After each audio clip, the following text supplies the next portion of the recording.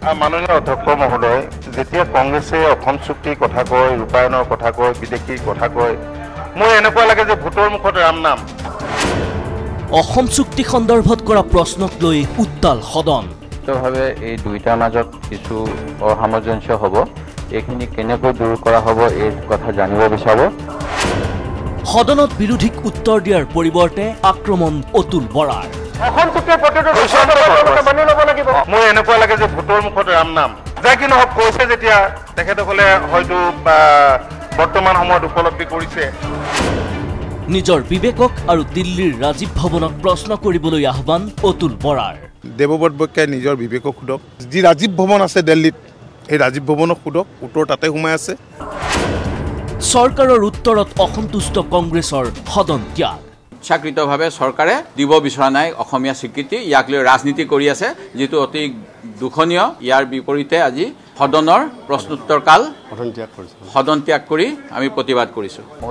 অসম চুক্তি সন্দৰ্ভত বুধবাৰে দেৱব্ৰত শইকীয়াই কৰিছিল এক প্ৰশ্ন। মন্ত্ৰী অতুল বৰাই এই প্ৰশ্নৰ উত্তৰ দিবলৈ গৈ ক'লে প্ৰশ্ন কৰাজনে নিজৰ বিবেকক প্ৰশ্ন কৰক দিল্লীৰ ৰাজীৱ ভৱনক প্ৰশ্ন কৰক। মাননীয় অধ্যক্ষ মহোদয় তেখেতে এই বিষয়ত বৰ্তমান সময়ত চিন্তা কৰিছে খুবেই ভাল কথা। প্ৰয়াত সেই সময়ৰ প্ৰধানমন্ত্ৰী ৰাজীৱ গান্ধীয়ে অসম চুক্তিত স্বাক্ষৰ কৰিছিল। তাৰপিছত দিল্লীত চৰকাৰ কংগ্ৰেছৰে আছিল। কংগ্ৰেছ এজন সদস্য হিচাপে দেৱব্ৰত বৈক্যাই নিজৰ বিবেকক সোধক তো যি ৰাজীৱ ভৱন আছে দিল্লীত সেই ৰাজীৱ ভৱনক সোধক উত্তৰ তাতে সোমাই আছে। অতুল বৰাৰ এনে উত্তৰত প্ৰতিবাদ কংগ্ৰেছৰ। সকলো বিধায়কে একেলগে বিৰোধ কৰিলে মন্ত্ৰীৰ উত্তৰক কংগ্ৰেছৰ এনে প্ৰতিবাদৰ মাজতে অতুল বৰাই পুনৰ ক'লে। আমি চিৰিয়াছ চিৰিয়াছ হোৱাৰ বাবেই বহু ব্যৱস্থা লোৱা হৈছে। আৰু দায়িত্ব লোৱাৰ পাছত অসম চুক্তি ৰূপায়ণ বিভাগৰ আমি আন্তৰিকতাৰে নিষ্ঠাৰে আমি কাম কৰি যাবলৈ চেষ্টা কৰিছোঁ। তেওঁলোকৰ উত্তৰটো ৰাজীৱ ভৱনে দিব পাৰিব। লগতে অতুল বৰাই ক'লে কংগ্ৰেছে এইদৰে প্ৰতিবাদ কৰিলে আমি আৰু পিছলৈ ঘূৰি যাব লাগিব। বাংলাদেশৰ পৰা মানুহ অহাৰ বাট মুকলি কৰিছিল কংগ্ৰেছেই আপোনালোকে জানে যে কংগ্ৰেছ দল দীঘলীয়া দিন ক্ষমতাত থাকিল। গতিকে সেই সময়ত যদি আজি দেৱব্ৰত শইকীয়াই এইবোৰ প্ৰশ্ন আমাক সুধিবলগীয়া নহ'লহেঁতেন আঠষষ্ঠি বছৰৰ মূৰত। আৰু মই সেইকাৰণেই কৈছোঁ যে নিজৰ বিবেকক সোধক। ইয়াৰ উত্তৰত দেৱব্ৰত শইকীয়াই বাংলাদেশৰ পৰা কংগ্ৰেছে মানুহ আনিছে বুলি প্ৰমাণ কৰিব নোৱাৰিলে কথাখিনি উঠাই ল'ব লাগে বুলি সদনত ক'লে।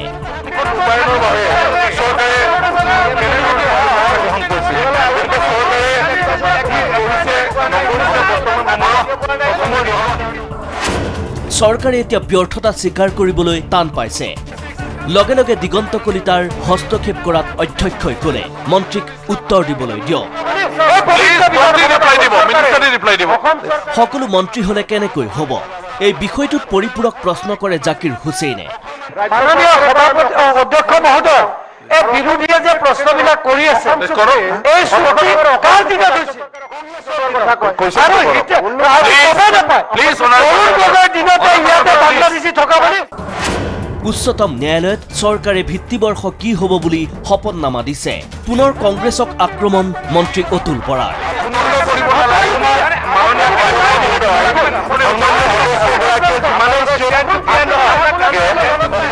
কংগ্ৰেছে অসম চুক্তিৰ কথা ক'লে ভোটৰ মুখত ৰাম নাম যেন লাগে।